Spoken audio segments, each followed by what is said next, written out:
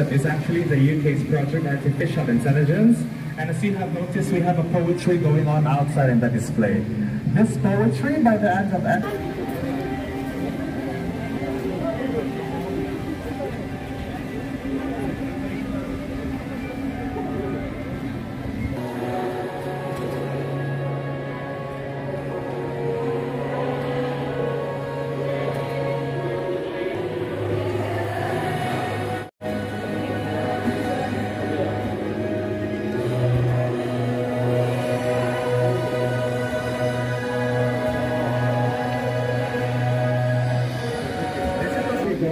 outside the display. This poetry at the Expo will be on the Guinness Book of World Records as the longest poetry that happened in Expo history. And for you to be a part of that one and for you to experience artificial intelligence as well at the same time, all you have to do is submit a single